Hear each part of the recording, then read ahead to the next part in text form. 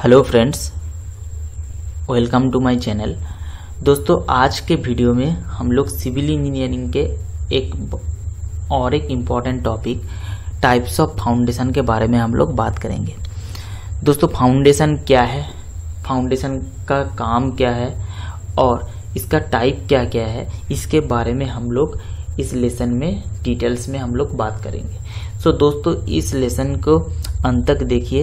ये आप लोगों के लिए बहुत ही हेल्पफुल रहेगा। ओके okay, दोस्तों बिना देर किए स्टार्ट करते हैं इस वीडियो को। दोस्तों पहला जो बात है what is a foundation in construction foundation क्या है? Foundation is the lowest part of the building और the civil structure that is direct contact with the soil, which transfer the load from the structure to the soil safely. कोई भी civil structure और कोई भी building का एकदम नीचे का जो हिस्सा है, जो क्या करता है, जो सुपर स्ट्रक्चर है, उसका लोड को ट्रांसफ़र करता है ज़मीन पे। इसको हम लोग क्या कहते हैं? फाउंडेशन अब दोस्तों टाइप्स ऑफ़ फाउंडेशन क्या क्या है? दोस्तों फाउंडेशन दो तरीके की होता है। एक तो होता है आपका सेलो फाउंडेशन और दूसरा है आपका डीप फाउंडेशन अब दोस्तों सेलो फाउंडेशन क्या है? दोस्तों, इधर आप लोग एक इमेज देख पा रहे हैं। अब देख पा रहे हैं कि लोड ऊपर से लग रहा है, इस फाउंडेशन के ऊपर। ये है आपका कॉलम और नीचे है आपका फाउंडेशन सो दोस्तों कॉलम के सारे जो लोड आ रहा है, वो फाउंडेशन के सारे सॉयल में ये लोड ट्रांसफ़र हो रहा है। ओके सो दोस्तों, ये है आपका ग्राउंड लेवल जीएल अब ग्राउंड लेवल से देखिए, जो फाउंडेशन है, इस, इसका जो नीचे का जो हिस्सा है और बेस पोर्शन है, इस डिस्टेंस को हम लोग क्या कह रहे हैं? डेप्थ ऑफ़ फाउंडेशन इसको हम लोग डिनोट करते हैं डी एफ़ से। और दोस्तों, ये है आपका देखिए विथ ऑफ़ फाउंडेशन इसको हम लोग डिनोट करते हैं बी एफ़ से। दोस्तों depth of foundation by width of foundation less than equals to one अगर होगा, तब उसको हम लोग कहेंगे क्या? Shallow foundation okay so depth of foundation जो है, वो विथ ऑफ़ फाउंडेशन से कम है. अब दोस्तों हम लोग क्लासीफाई करेंगे सैलो फाउंडेशन को. सैलो फाउंडेशन को हम लोग further spread footing strap footing combined footing raft और मैट फाउंडेशन में हम लोग क्लासीफाई कर सकते हैं. अब दोस्तों, पहले हम लोग बात कर लेते हैं spread footing type of shallow foundation use to support a wall or column wall और कॉलम को सपोर्ट करने के लिए इस तरीके का फाउंडेशन हम लोग बनाते हैं। It may be continuous or isolated continuous भी हो सकता है और अलग अलग से हम लोग इसको बना सकते हैं। आइसोलेटेड फुटिंग जो है, वो आपका स्क्वायर शेप में हो सकता है सर्कुलर शेप में भी हो सकता है, या रेक्टेंगुलर शेप में भी आपका हो सकता है। अब दोस्तों, बात करते हैं strap footing strap footing consist of two or more spread footing connected a beam called strap so दोस्तों, आप लोग देख पा रहे हैं, दो स्प्रेड फुटिंग एक बीम से कनेक्ट किया गया हुआ है। इस बीम को हम लोग कहते हैं strap used where the distance between the column is so great, दोनों जो कॉलम है, इसके अंदर डिस्टेंस ज़्यादा हो जाता है, तब हम लोग इस तरीके के फुटिंग को हम लोग यूज़ करते हैं। अब दोस्तों, हम लोग बात करते हैं कॉम्बाइंड फुटिंग के बारे में। कॉम्बाइंड फुटिंग इज़ प्रोवाइडेड हो when the column are close together and separate footing would overlap अगर दोस्तों, दोनों कॉलम देखिए पास पास है अगर हम लोग अलग अलग से अगर फुटिंग बनाएँगे तो दोस्तों क्या होगा? ये ओवरलैप कर जाएगा ए, एक दूसरे के ऊपर ओके सो दोस्तों इसलिए हम लोग क्या कर देते हैं? कॉम्बाइन फुटिंग इसको हटाने के लिए हम लोग कर देते हैं combine footing okay it may be rectangular shape जैसे कि आप इधर देख पाए रेक्टेंगुलर और ट्रेपिजॉइडल शेप में भी आपका बन सकता है।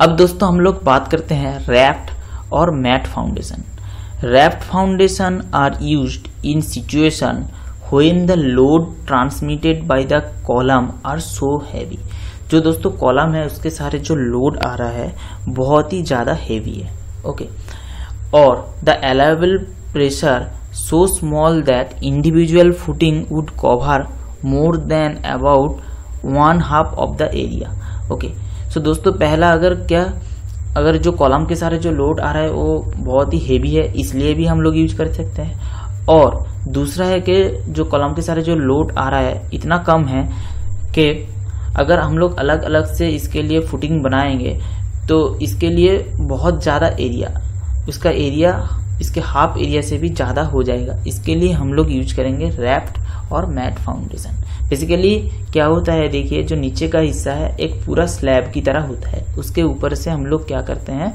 कॉलम खड़े करते हैं।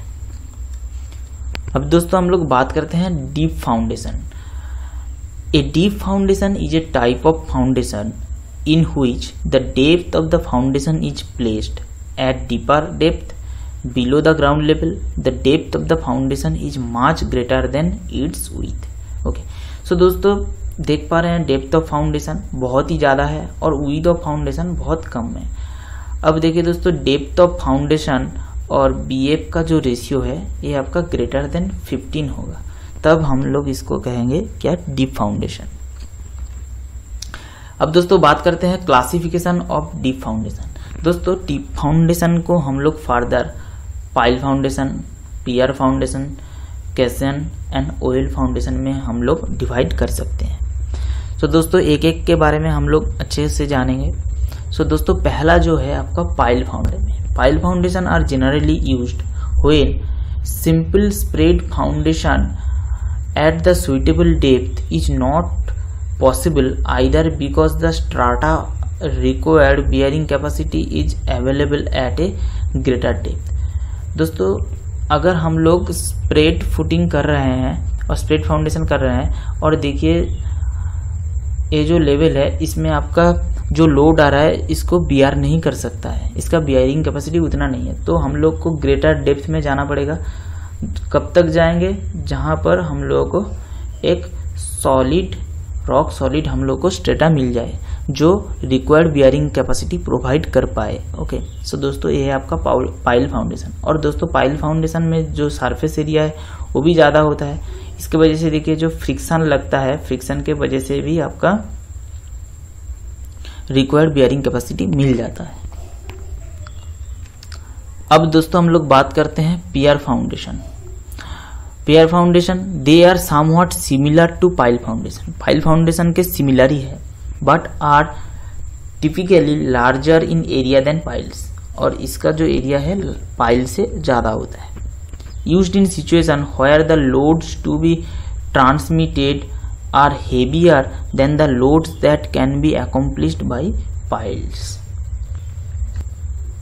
so दोस्तों, बात करते हैं well foundation a well is a large hollow open ended structure in which excavation and casting continues till it sink to prescribe depth okay commonly provide under bridge and piers दोस्तों, आप लोग देख पा रहे हैं ब्रिज के जो pierce है, इसमें हम लोग यूज़ करते हैं इस तरीके के फाउंडेशन को ऑयल फाउंडेशन ओके सो दोस्तों, ये है आपका पायर और देखिए, हम लोग ऑयल फाउंडेशन बनाए हैं और इधर देखिए सैंड फिलिंग कर दिए इसके अंदर. ओके और देखिए इधर है आपका एक आरसीसी स्लैब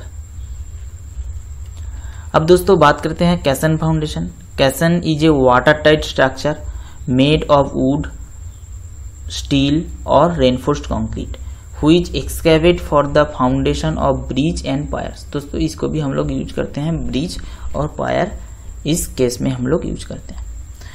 सो so, दोस्तों ये आपका हो गया है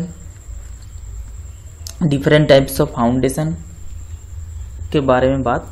सो so, दोस्तों इधर हम लोग पढ़े pile foundation and caisson foundation. अब देखिए डिफरेंट डिफरेंट टाइप का पाइल्स होता है और कैसन भी आपका डिफरेंट डिफरेंट टाइप्स का होता है। सो so, दोस्तों इसको बताने के लिए मैं एक दूसरा वीडियो लेसन लाऊँगा। ओके सो इस लेसन में इतना ही। Hope you understand this video if you understand then like this video and share with your friends. And thanks for watching दोस्तों मिलते हैं अगले वीडियो